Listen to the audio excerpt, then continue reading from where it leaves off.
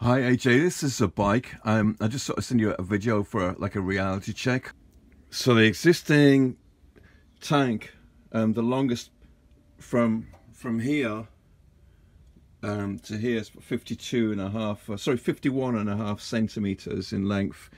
Underneath, um, it's 49 or 49 and a half centimeters but the the tap is about here so it's easy access. So i was thinking that if i've got these measurements correct or roughly in in the right sort of uh, area that the norton tank would be you know resting about here. So um i did this from uh, just you know from photoshop from est estimating um, the, the rough rough uh, dimensions of it. And I think it would sit on top of here which would mean that if you have um, a fuel tap right on the back end um, depends on how far away it is. Like the width here.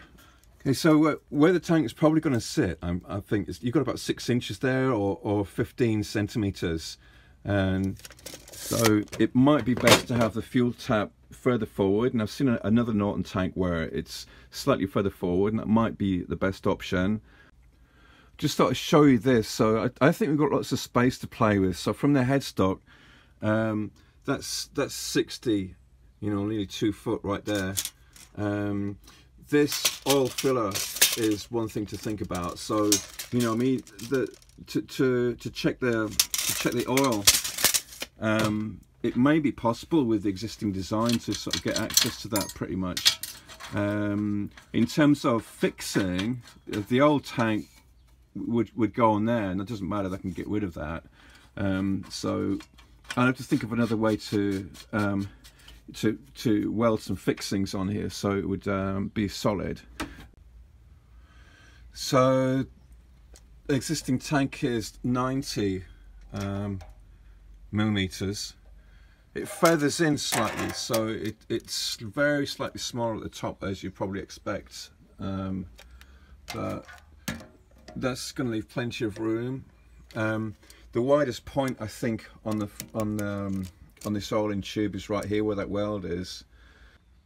And if you wanted to increase the volume of the tank um, I don't know if I can do this with one hand but um, 90 is more than wide enough. Like you can see here, um, there's there's loads of room to breathe right along, right along that tube. It's it's narrowest. Um, I guess you know even you, you probably get away with even even a you know 85. It's quite narrow here, so that's um, you know it's about six, um, 60 round about here. I reckon this gauge just about reaches halfway, so that's 76 metric um, slightly wider bit here I can only get the gauge on onto half of onto half of it like so but what's that? Um, well I'm guessing that'll be probably about probably about 80 all right so that's that's more or less 80 using farmyard technology. So that 80 fits on there so um, that's probably about the, as, as you know just to be wide enough to fit over 80 so 90 you know maybe even you want if you want to improve um, the capacity. 90 which is you know that's, that's let's just have a look at how much space there is in there. So at the front there you've got an inch on one side. Pulling, pulling the tank over to one side at the front there's like there's like an inch of space there. You know, don't necessarily need all that space. At the back, pulling it to one side, there's, there's less room at the back, but I can get my fingers in there. That tool's about 10 mil, about 10 mil tool, so that freely will get in there. So, so yeah, if, if that was 80, you know, then it would fit. 80 would be, be a bit tight, but maybe maybe 85. I'm thinking, particularly at the back, will be um, you know, more than enough. One concern I've got is if that tunnel's not big enough, um, it's just going to be in the wrong place. Right, so bearing in mind um, this tank is hopefully slightly more bulbous than the one that you make. I'm hoping that the one you've got there is more slick looking. and comes down just very slightly lower. I've, I've made this too big. It's, see that line there? It should be coming down more here. So, because um, that's sitting right on the top there. So if I was just, let me get, just put cardboard on top of that. You're kind of, um, you know, it's looking like that at the top. And I don't know whether it, I don't know whether it will, because this is the issue here is on full lock you know if that's if that if that angle is wrong and you it's going to be um, hitting the tank um, I'm not sure I, have got no idea what that angle is. You know I've just I just based it on based it on that and just just cut square. So that might not be an issue at all um, but I've got no idea. Um, I'd have to sort of physically look at a tank as opposed to um, judging from photographs. So the cut, cut away at the back um, on the existing one might actually work there, but um, we'll have to see.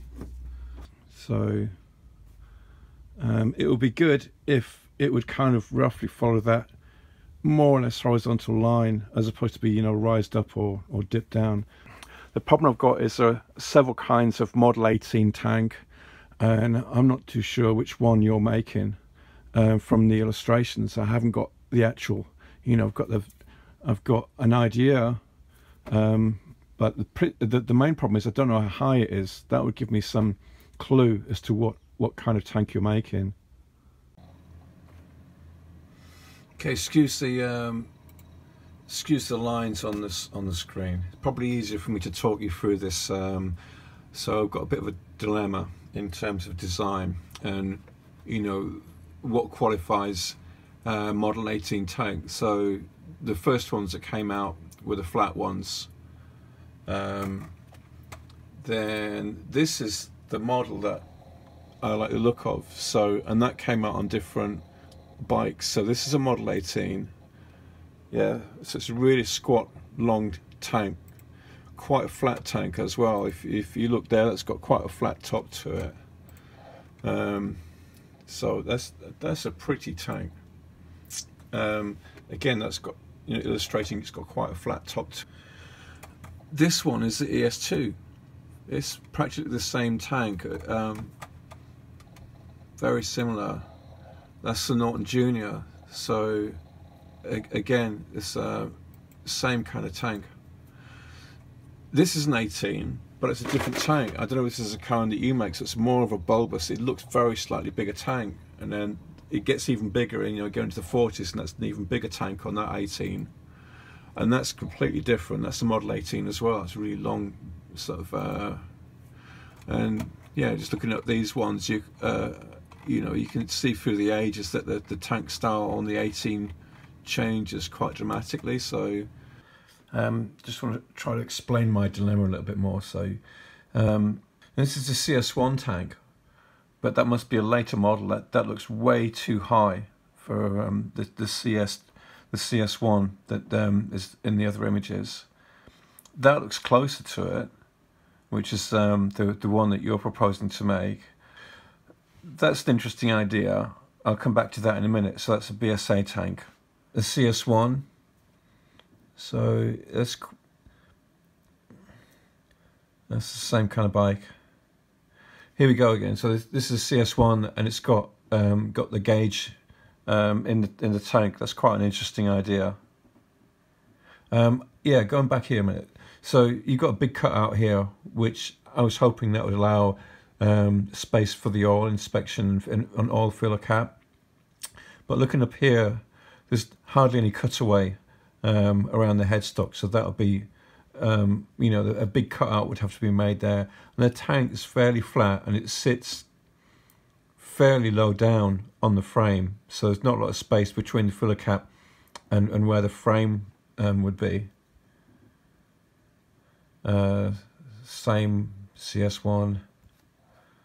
Uh, so that, that's I love the shape of that. So that is a Model 18. Um, this could be a CS1 again, but that's a really thin tank that, that looks similar to the one that you're proposing to build. Um, let me just check. Is this a CS1? And that's a very slightly. This is a CS1. It's a very slightly different tank. There's a different kind of finish at the bottom of, of these ones. Like um, going back to this, this effect here. Um, so that's a big four, similar to the CS1. Um, another CS1. CS1 again. You've got that finish at the bottom, which um, on the earlier machines.